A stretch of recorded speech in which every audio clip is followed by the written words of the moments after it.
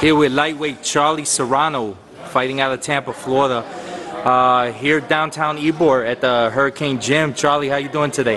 Doing great. How about yourself? Doing well. Listen, we're we're coming up on July 12th, which is going to be a tremendous uh, championship WBO lightweight Latin light lightweight title for you against uh, Aalan Martinez.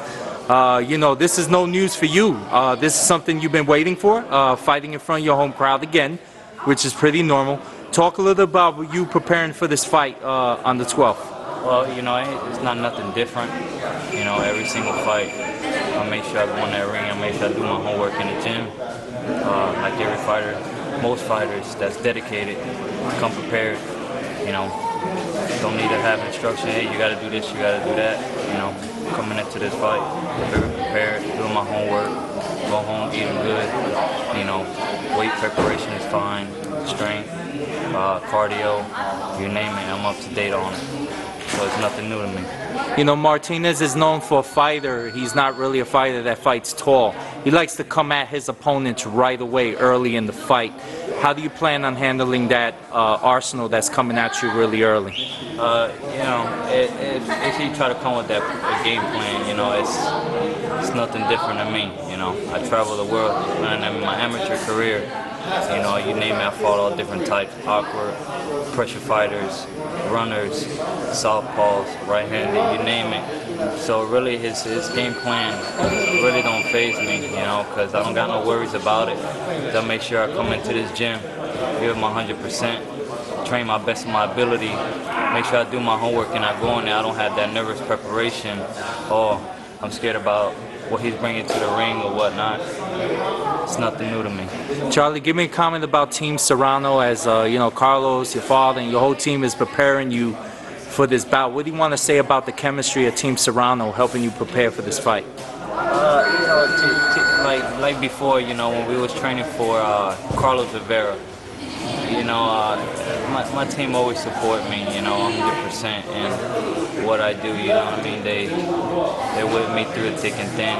And, uh, you know, now that we added a new partner to our, our training camp, which is Rick, he's one of the strength trainers here, you know, and a little bit tweaks, but, you know, nothing new, you know what I mean? We stay humble, we stay prepared. You know, we got a great team. You know, as, as one of my helpers also, Joshi and uh, Ricky Thompson. You know, it's, it's our family just continue to get big, and uh, you know we help one another and uh, we support one another. So when we go in that ring, we make sure we perform our best our ability to other people to see what we do inside the gym and outside the gym, you know, and it's, it's, it's a great feeling. Charlie, you know, the WBO recognizes one of the main three belts of all the belts, the WBC, the IBF. WBO to give you this opportunity, a Puerto Rico belt, to give you this opportunity to fight for the belt. What does that, how humbling is that to you? What does that mean to you? You know, when, when they call me for uh, to fight for this card, you know, for uh, an opportunity like this, you know, I told them, hey, fax me the contract. It only took me three seconds. You know, as soon as I got the call, hey, I was already in the gym. And, uh, you know, it just, it's a blessing, you know, in, in my career to, to be able to get this opportunity. Like they say, you know, opportunity comes once in a lifetime. You know, so just want to make the best of it.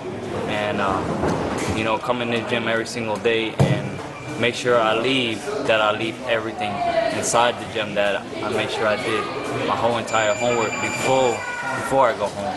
And, uh, you know, I, you know this, this, opportunity is great. And it just, like I say, it comes once in a lifetime. And once you grab it, make sure you, you don't let it go. Because it comes one time, once in a lifetime. Champ, we thank you for your time in this interview, and we'll see you July 12th. Thank you. Peace out, everybody.